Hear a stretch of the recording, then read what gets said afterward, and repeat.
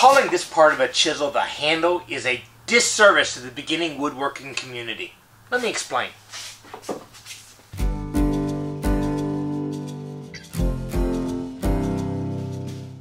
By calling it a handle, every single new woodworker I come across grabs it by the handle and starts working with it. And unless you have an invader into your shop where you're having to fight him off like Zorro, the handle is the last thing you're going to be gripping.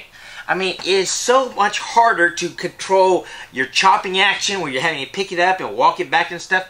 I mean, you don't see people writing with a pencil by, down by the eraser. No, we get down close. We aren't that coordinated. We need to be close to the contact point. Hold it by the blade for the majority of your time. Even if you're carving, you see Mary May and stuff like that. They hold it by the blade. The only thing the back handle is that backhand is doing with the handle is providing propulsion and you don't grab it like that when you're doing that. It's more pushing through. Also try not to put it in the center of your palm when you're pushing. Lots of damage can happen there. Uh, that's where all your nerves are.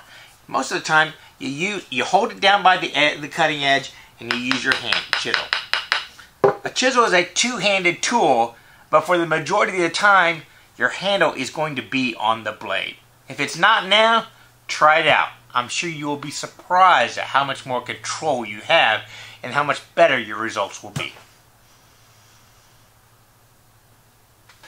So for today's bonus, I want to talk about Kari Hultman and her The Village Carpenter uh, blog. Because I really hate this lady.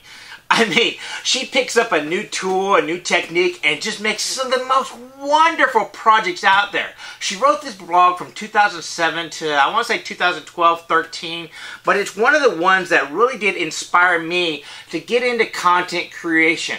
Her writing style, writing techniques, and the actual products that she were making are just mind-blowing.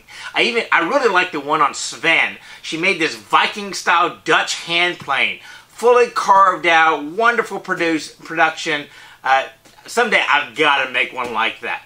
Anyways, check it out. The Village Carpenter by Kari Hultman. It's on blogspot.com still. Years of content out there. Trust me, you'll like it.